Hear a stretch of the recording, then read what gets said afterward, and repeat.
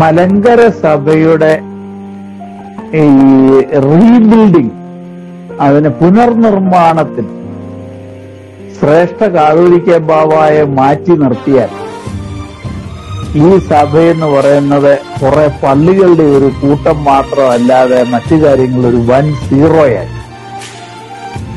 നമുക്ക് വൈദിക സെമിനാരി ഉണ്ടായിരുന്നു പക്ഷെ വൈദിക സെമിനാരിയുടെ നിർമ്മാണത്തിനും പ്രവർത്തനങ്ങൾക്കും എല്ലാം വേണ്ടി അദ്ദേഹം മുൻകൈ എടുത്തിട്ടുണ്ട്.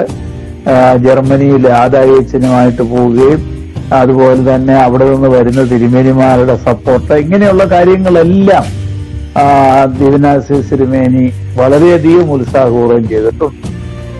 അടുത്തത് ഈ രണ്ടായിരത്തി രണ്ടിൽ കാതോലിക്ക ആയപ്പോൾ മുതലുള്ള അദ്ദേഹത്തിന്റെ സഭയെക്കുറിച്ചുള്ള ഒരു വലിയ വിഷൻ നമുക്ക് കാണാൻ സാധിക്കും.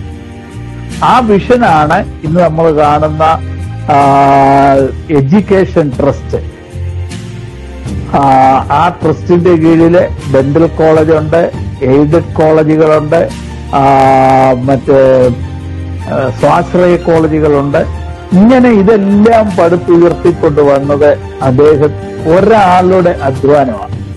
പുത്തൻകുരിശിലെ അന്ന് ബാവായി സ്ഥലം മേടിച്ച് ആ ഒരു കാലഘട്ടത്തിൽ അവിടെ ചെന്നാൽ ഒരു ആസ്ബസ്റ്റോസ് ഇട്ട ഒരു ചെറിയ ഒരു കെട്ടിടം ഇപ്പോഴത്തെ ആ കോളേജിന്റെ ഇരിക്കുന്ന ഭാഗത്തായിട്ട് ഒരു കെട്ടിടമുണ്ട് ആ കെട്ടിടത്തിലാണ് ബാവ വിശ്രമിക്കുന്നത്.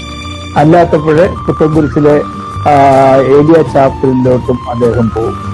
ആ ഒന്നുമില്ലായ്മയിൽ നിന്ന് ഈ സഭയെ ഇന്ന് കാണുന്ന ഈ വലിയ ശ്രേഷ്ഠതകൾക്കെല്ലാം വളർത്തിയെടുത്തത് ഈ ബാവായുടെ വിയർപ്പും അധ്വാനവും ദർശനവുമാണ് എന്ന് പറയുന്നതിന് എനിക്ക് യാതൊരു സംശയവും ഇനി കുറെ കൂടെ പുറകോട്ട് പോയാൽ ആയിരത്തി തൊള്ളായിരത്തി എഴുപത്തിനാലിൽ മെത്രാനായി വന്നു കഴിഞ്ഞപ്പോൾ മുതൽ യൂത്ത് അസോസിയേഷൻ സൺഡേ സ്കൂൾ പ്രത്യേകിച്ച് ഇത് രണ്ടിന്റെയും ചുമതല അദ്ദേഹം ഏറ്റുകൊണ്ട് ഇതിന്റെ എല്ലാം ഒരു ഒരു വളർച്ചയ്ക്ക് വേണ്ടിയും സംഘടനാപരമായിട്ടുള്ള കെട്ടുപണിക്ക് വേണ്ടിയും വളരെയധികം പരിശ്രമിച്ച ആളാണ് തോമസ് മാർ ദീനാശ്വരി അത് കഴിഞ്ഞ് കാതോലിക്ക ആയി കഴിഞ്ഞപ്പോഴേക്കും അദ്ദേഹത്തിന്റെ ദർശനം കുറെ കൂടെ വിപുലവും വിശാലവുമാണ്.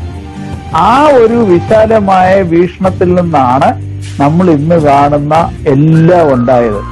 അതുകൊണ്ടാണ് ഞാൻ പറഞ്ഞത് ഇന്നത്തെ യാക്കോബായ സഭ minus his beatitude Baselios Thomas first is a big zero അത് മുഴുവൻ പടുത്തു വരുത്തുക അദ്ദേഹമാണ്